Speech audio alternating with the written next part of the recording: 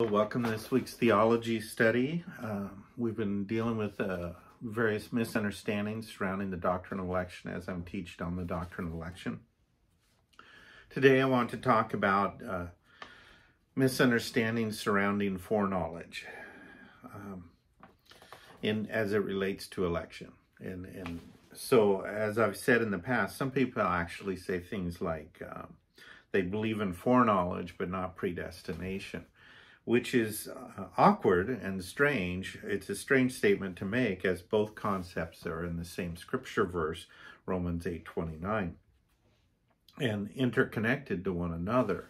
And, and so there are just a lot of little misunderstandings like that we should clear up. Uh, doctrine is not a smorgasbord of ideas that you just uh, skim over or comb over until you find the ones that suit your taste. That's not what doctrine is. Um,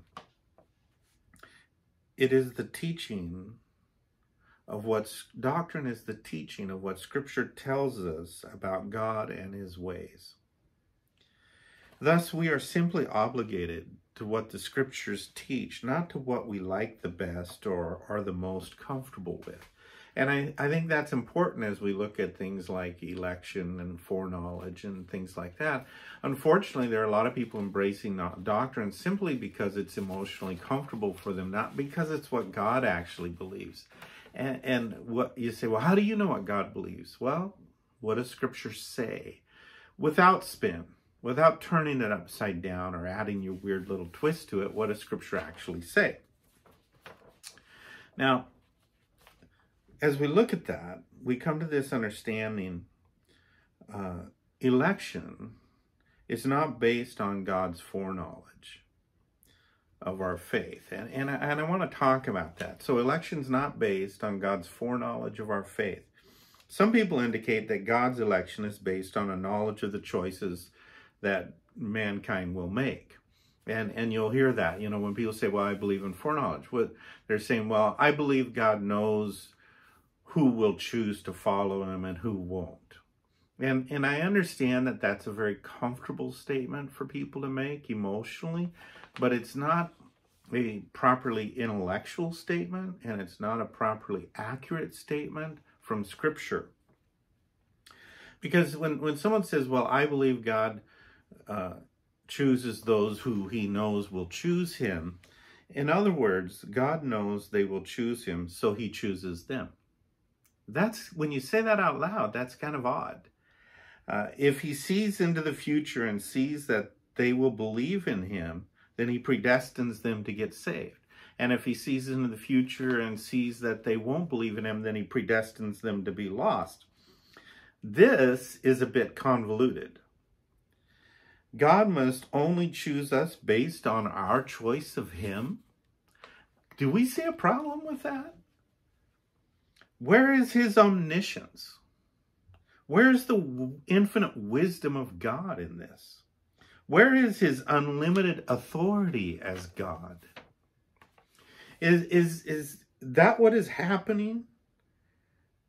Is God being reduced to a yes man? In this way of thinking, God isn't doing the predetermining at all. If you say, well, he, he, he elects us because we knew we'd choose him, then we're the ones in power, not him. We're, he's honoring our will and we're not honoring his which is always the problem of human humanity. It's the it's the basis of our confusion. Once again, it's just another way for man to be in charge of his own destiny without regard for God at all. We choose, and God has the great, you know, and, and, and so we choose, and God, as the great cosmic yes man, just agrees with us? No, thank you. I like God as he is. Infinite, sovereign, independently minded from us. That's the God I fell in love with and choose to follow or was chosen to follow. I don't need a bobblehead idol. I want the Almighty to be my God. This is often based on a misunderstanding. When people say things like this, it's a misunderstanding of Romans 8:29, which I referenced earlier, and I'll read it now in the literal translation version. It says this, because whom he foreknew, he also predestined to be conformed to the image of his son, for him to be the firstborn among many brothers. Note this. It is people who are foreknown, not decisions. Right there in the text. It's the people that he foreknows, not their choices. Now, that isn't to say God isn't knowledgeable of our choices. But, but we have to understand the distinction. Foreknowledge is of a person, not facts. And so when we look at Romans 8:29, we learn this. It does not speak of God's foreknowledge of the fact that the person would believe in him. It states those whom he foreknew. This indicates a foreknowledge of the person, the individual. This knowledge is personal, it's relational knowledge. It's God looking in the future of certain people and, and seeing that in certain people saving relationships to him. In that sense, he knew them long ago. So God looks in the future and he chooses people to be in a saving relationship with him. That's the foreknowledge. Romans 8:29 says nothing of God knowing the choices that people will make. Now, of course he certainly would, since he's omniscient. However, to use this verse to say what people wanted to say requires a great deal of spin and speculation. Now, the problem is spin makes you theologically dizzy, and speculation is highly speculative. We can learn more about this topic from Matthew uh, chapter 7. It's the concept of the never knowns in Matthew chapter 7. And if we were to read those verses, Matthew 7, verses 21 through 23, they say this Not everyone who says to me, Lord, Lord, will enter the kingdom of heaven but only the person who does what my Father in heaven wants. Many will say to me on that day, Lord, Lord, didn't we prophesy in your name? Didn't we force out demons and do many miracles by the power and authority of your name? Then I will tell them publicly, I've never known you. Get away from me, you evil people. Now, this is Jesus speaking, so we begin to realize what is Jesus? Jesus is God, right? It's fully God. So we, we learn, well, what does God think? about all of this. That's the goal of theology. Here we see that God knew facts about these people. He, he knew that they cried, Lord, Lord. He knew about their works or their professed works. He knew they were evil and he knew that they were lawless. The, in that Greek text there, the lawless is anomia, anti-law. Yet he declares that he had no foreknowledge of them. When he makes the statement, I never knew you. Not, I knew you from long ago and knew what you'd choose, or I have always known that you were going to be lawless. That's not what he says. He says, he makes that statement, I never knew you. And this becomes this understanding of the relational knowledge we're talking about when we look at foreknowledge in its relationship to election. Not, and it's not I knew you and forgot you, or I knew you and you walked away, or I knew you and you rebelled. It's none of that. It's I never knew you. You look up never in the original language, means never. Clearly, here, knowledge of the person is not the same as knowledge about the person because the Lord had knowledge about them, and yet he declares that he never knew them. So it's the same way when we look at biblical knowledge, it's relational knowledge. And when we look at the text of Romans 8:29, we come to understand this isn't a discussion about uh, knowledge about an individual or facts concerning them. It's it's a discussion of knowledge of the person to those whom he foreknew he predestined them to be conformed to the image of Jesus Christ.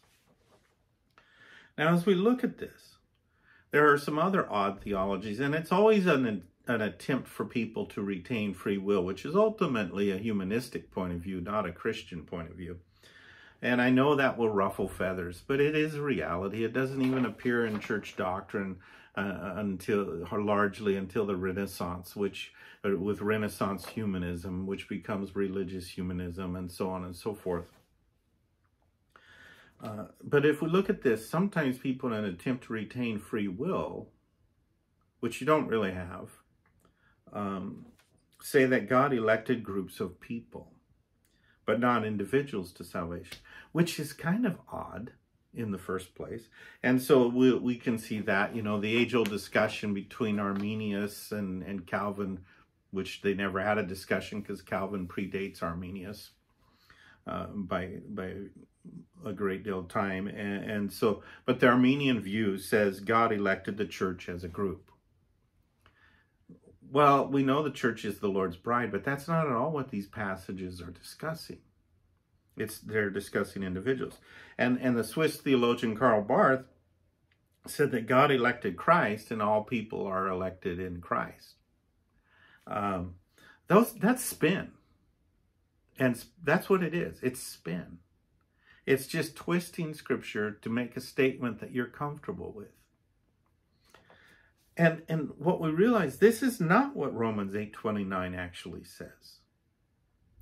It Romans 8:29 indicates that certain people were foreknown by God. And this is in agreement with Matthew 7 that certain people were never known. And so we see those groups, the foreknowns and the never knowns. This isn't about facts or knowledge of the individual, but it's knowledge with the individual in relationship. Neither of these scriptures is discussing groups of people, but individuals.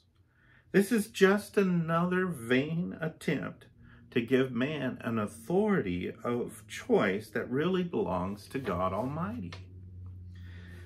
It seems a little like idolatry when you say it like that. So herein is the ultimate issue.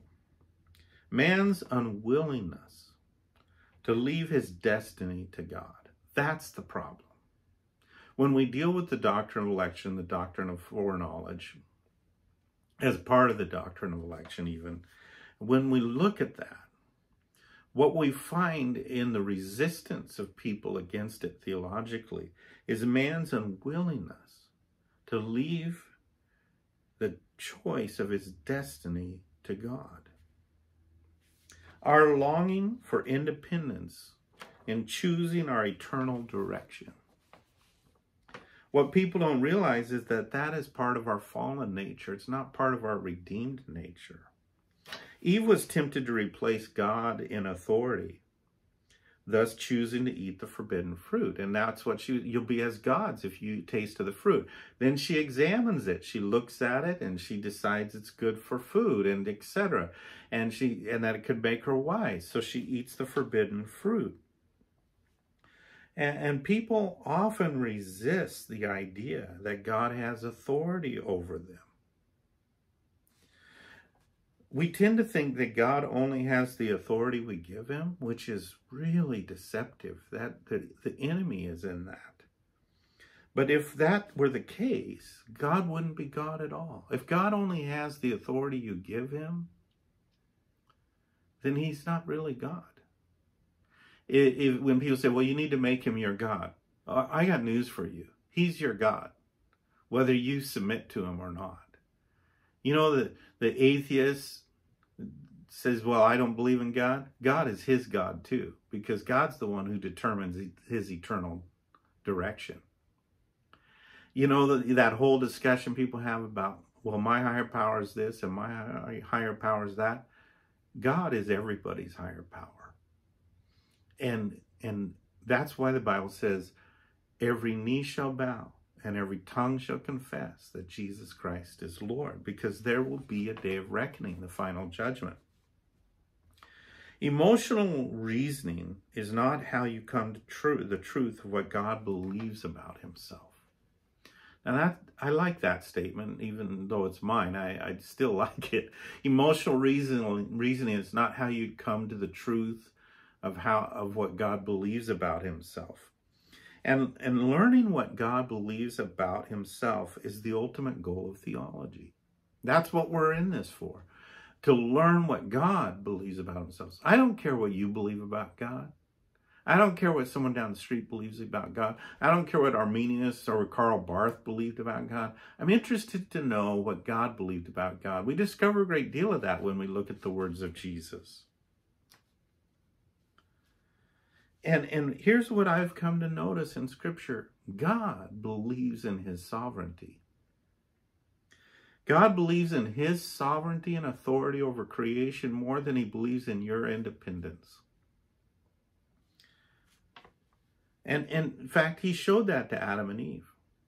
That when they asserted an independence from the commandments of God, God showed up and asserted his authority over them. Which stay, shows us that he believes in his sovereignty more than our independence to make upper story choices. Well, that's it for now.